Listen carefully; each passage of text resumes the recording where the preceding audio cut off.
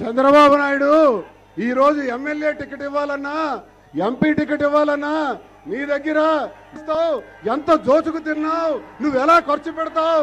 ఓట్లు ఎలా కొంటావని అడిగేటటువంటి చంద్రబాబు నాయుడు. మరి జగనన్న అయితే నేనే ఉదాహరణ.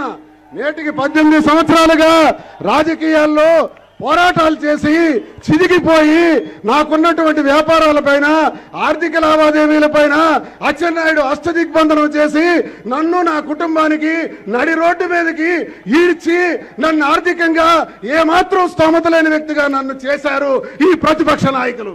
మరో సందర్భంలో డబ్బులుంటేనే టిక్కెట్లు ఇస్తాము అనుకునేటటువంటి చంద్రబాబు నాయుడు ఎక్కడ?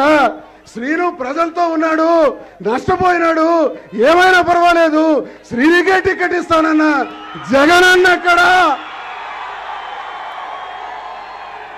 మాలాంటి సామాన్యులు మాలాంటి అభాగ్యులు మాలాంటి అవకాశం లేనటువంటి వాళ్ళకి ఈ రోజు అవకాశం ఇచ్చేవాళ్ళ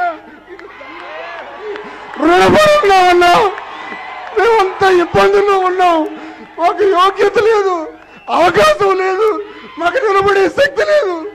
మాలాంటి వాళ్ళకి తీసుకొచ్చి నువ్వు ఎంపీగా పెట్టి అవకాశం ఇచ్చావన్నా జన్మ జన్మలకి మేము మా ప్రజలు నీకు రుణపడి ఉంటామన్నా నీకు నీ పాదసేవ చేసుకొని నువ్వు ఏ పని చెబితే ఏ నమ్మకంతో ప్రజలకు అవకాశం ఇచ్చావు ఏ నమ్మకంతో మాకు అవకాశం ఇచ్చావు ఆ నమ్మకాన్ని వమ్ము చేయకుండా ప్రతి గంట కూడా మేము వృధా చేయకుండా ప్రజల కోసం పని చేస్తానన్నా నీకు ప్రమాణం చేసి చెప్తున్నానన్నా నీకు ఈ సందర్భంగా ధన్యవాదాలు తెలియజేసుకుంటూ శ్రీ-